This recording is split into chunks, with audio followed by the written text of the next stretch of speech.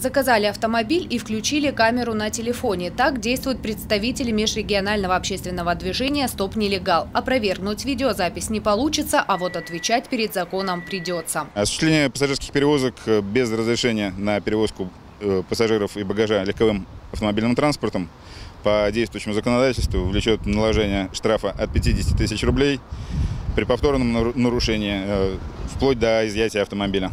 69-й закон работает с 2011 года, но кардинальных перемен в сфере такси до сих пор не произошло. Бомбилы активно работают не только в Сочи, но и в других регионах. На них жалуются пассажиры, а легальные перевозчики уже объявили им войну. С гробом на крыше автомобиля и надписями «Легальное такси убили» в мае этого года тысячу километров проехал председатель профсоюза таксистов Йошкар-Олы. Таким образом, Сергей Курташкин пытался обратить внимание властей на проблемы этой отрасли, что закон о такси не работает работает. То есть я являюсь индивидуальным предпринимателем, имея лицензию, больше подвержен риску попасть на штраф, чем обычный бомбила-нелегал, который не платит ни налоги, не имеет лицензии, не проходит ни медиков, ни механиков. Слишком много пробелов в документе, говорят и общественники, и полицейские. Так, например, согласно поправкам в законе, штрафовать бомбил сотрудники госавтоинспекции должны, но в правилах дорожного движения необходимость предъявления разрешительных документов на перевозку пассажиров никак не зафиксирована. Да и на оформление только одного нелегала уходит до пяти часов.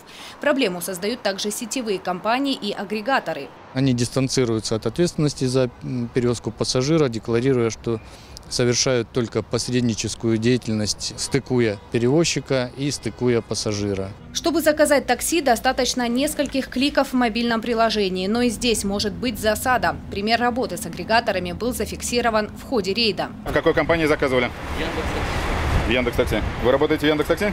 Нет, я вообще говорю, у меня не таксист. А как эти люди оказались? Они говорят, что Обычно заказали такси? просто ехал, люди попросили подвезти, подвез. В чем проблема? Что-то мы путаемся. Вы только я что говорили, что это ваши знакомые. Не таксисты. Еще раз повторяю. На рынок таксомоторного бизнеса выходит кто угодно, а здесь можно увидеть и машины других регионов, и даже государств. Причем за комфорт и безопасность перевозки, как говорят диспетчеры, они не отвечают. Но согласно 259 уставу автомобильного транспорта, тот, кто принял заказ, несет полную ответственность. Причина в том, что пассажиры, получившие некачественную услугу, не решаются идти в суд и добиваться справедливости.